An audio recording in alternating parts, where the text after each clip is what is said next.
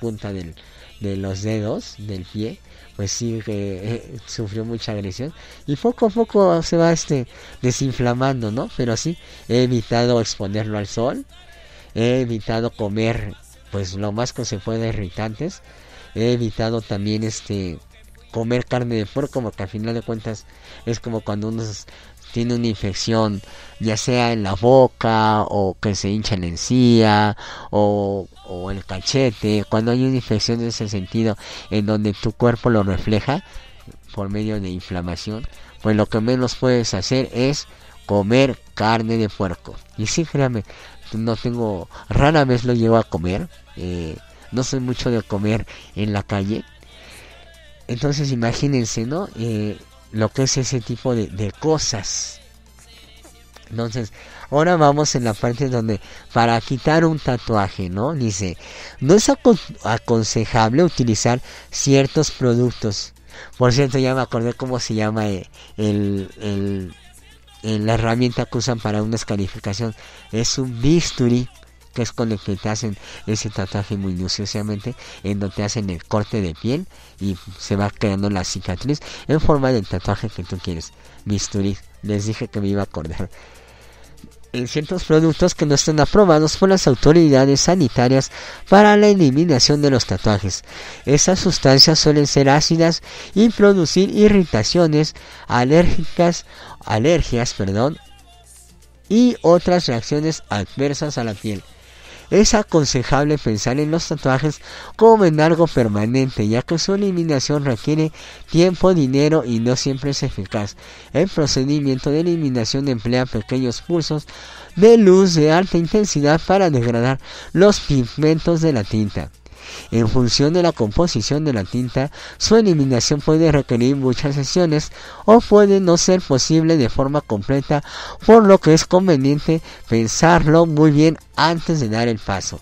Y por experiencia, eh, no personal, a lo mejor no en, primera persona, sino en tercera persona, en donde he conocido gente que dice que se han quemado sus tatuajes, créame, les quedan cicatrices muy, muy marcadas, ¿eh? créame, eh, si es una, son como cuando marcan a las reses, ¿no? En donde nada más con tal de arrancarse, ah, recordemos que hace años en Estados Unidos, pues se veía que los que estaban tatuados, pues eran exactamente, ¿no? Aquellos que estaban presos llega eh, eh, eh, la influencia aquí en México y pues a final de cuentas, ¿no? Lo, veían una persona tatuada ahí, este es delincuente. Al final de cuentas, era lo que siempre piensa la persona. Y si recordamos que ahora ya hace años estaba muy estigmatizado, muy señalado en los trabajos, ¿no? Que te hacían según tu, examen psicométrico y después tu examen físico, ¿no? Y lo primero que te dicen es, eh, a ver, desnúdese. Y si veían alguna agresión en tu cuerpo o, o ya muy notoria a la distancia un tatuaje, pues sinceramente muchos trabajos de oficina, pues nunca había este... La, la respuesta que ibas a obtener era negativo, ¿no? Ah, luego le hablamos, no lo sentimos, no cubre el perfil y cositas así. Ahora ya está, eso ya se considera discriminación, ya se permite ante la ley tener tatuajes, eso sí, eh, ya, eh, ya es una, eh, en su tiempo será muy, muy personal hacerse tatuajes, ¿no? También otro tipo de... Y ahora ya es una moda. El año pasado yo lo vi en la empresa donde trabajo, que yo creo que el 80% de las personas se hicieron tatuajes porque les gustó, porque estaba bonito, o porque ellos creen que le era estar in haciéndose el tatuaje. Pero recordemos que el tatuaje, como nos dice la información, es para toda la vida. Y por lo menos yo siempre le recuerdo, si te vas a hacer tu tatuaje y si es el primero en tu vida, que sea algo muy significativo, que sea algo simbólico y algo que digas, ok, que te dé gusto hasta presumirlo, ¿no? Y que te pregunten, ¿qué es? Ah, pues ya les dé la explicación lógica de lo que es hacerte un tatuaje.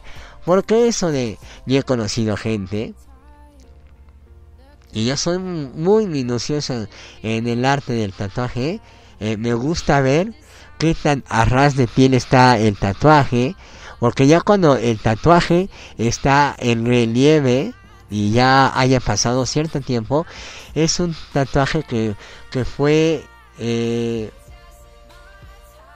es realizado de mala manera, en donde la, la, epidermis y, sufrió la agresión y quedó la lesión de eh, estar en relieve eh, a, a, la altura de la piel, ¿no? Entonces imagínense, entonces ahí es donde vemos que, que es un mal tatuaje, es lo que yo les puedo decir por experiencia, vivencias y, y muchas situaciones de, de la vida, ¿no? Entonces, como podemos ver, ese tipo de situaciones no son nada...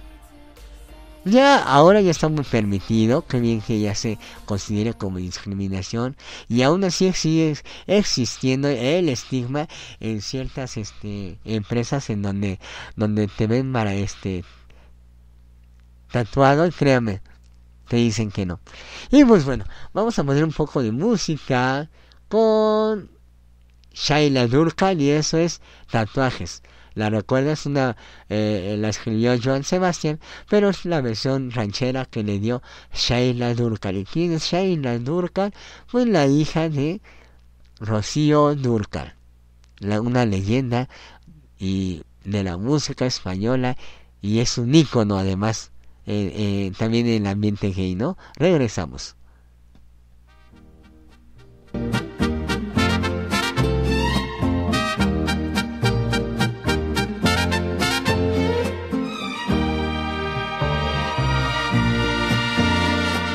Viendo mi felicidad.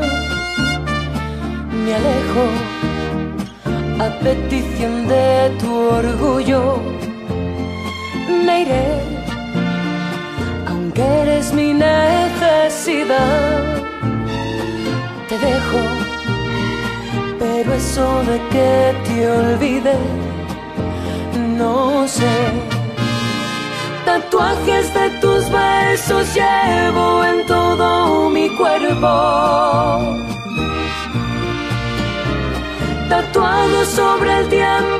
tiempo, que te conocí. Se me hizo vicio ver tus ojos, respirar tu aliento. Me voy pero te llevo dentro de mí.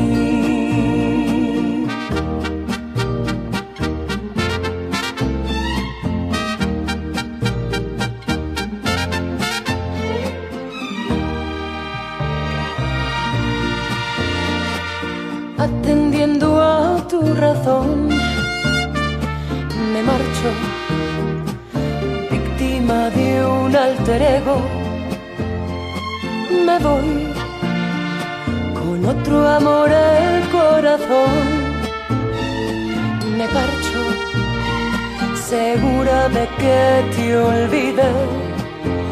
No estoy Tatuajes de tus besos llevo en todo mi cuerpo.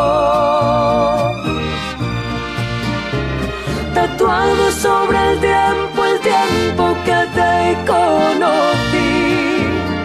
Se me hizo vicio ver tus ojos, respirar tu aliento. Me voy pero te llevo dentro de mí. Tatuajes de tus besos llevo en todo mi cuerpo. Tatuado sobre el tiempo, el tiempo que te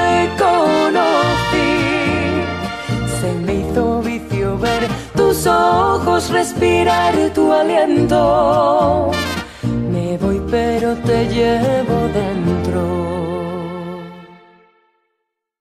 de mí.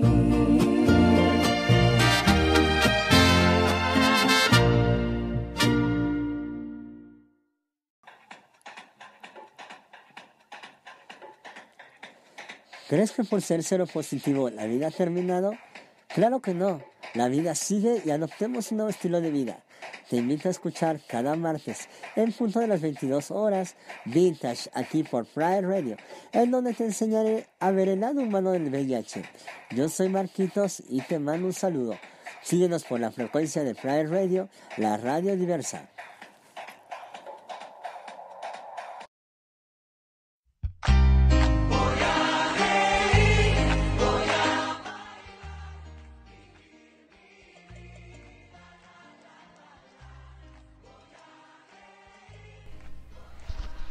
Y pues bueno, ya estamos aquí de nuevo en línea, en donde el tema es Me rayé y soy positivo. Te recuerdo nuestras redes sociales que es www.prideradio.com.mx y nuestra página de Twitter que es arroba MX. Se puede contraer VIH por piercings, perforaciones en la piel o por hacerte tatuajes Dice, los equipos que se usan para esos procedimientos contienen sangre de otra persona o si se comparte la tinta. El riesgo de contraer el VIH de esta manera es muy bajo, pero aumenta cuando la persona que hace el procedimiento no cuenta con la autorización debida porque existe la posibilidad de que se realice prácticas no higiénicas no compartir las agujas o la tinta si se hace un tatuaje o una perforación corporal, asegurar que la persona que haga el procedimiento cuente con la autorización debida y que solamente use agujas, tinta y demás artículos nuevos o esterilizados. Aquí en un grupo de WhatsApp me están preguntando que qué es mi tatuaje de las costillas, ¿no?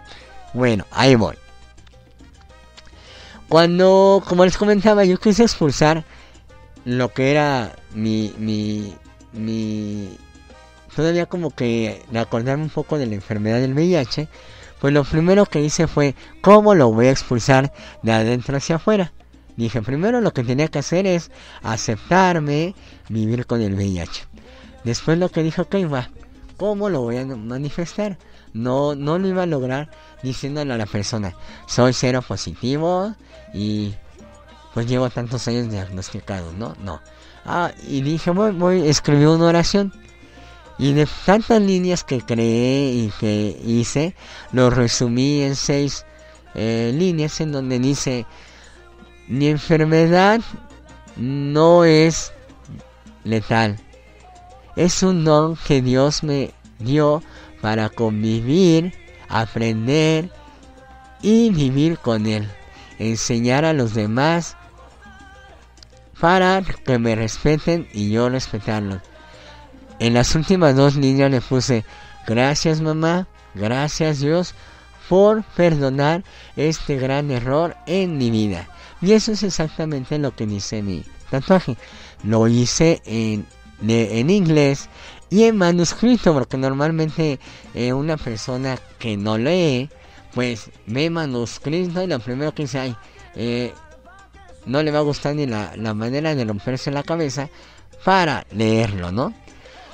Después dices, ok, bueno, en inglés, pues digo, quien lo sabe, lo entiende y, y todo ese sentido, ¿no? Pero quien no también va a decir, está en inglés. Y créanme que al principio me decían, mm, ellos creían que my way era mi camino, ¿no? O mi decisión.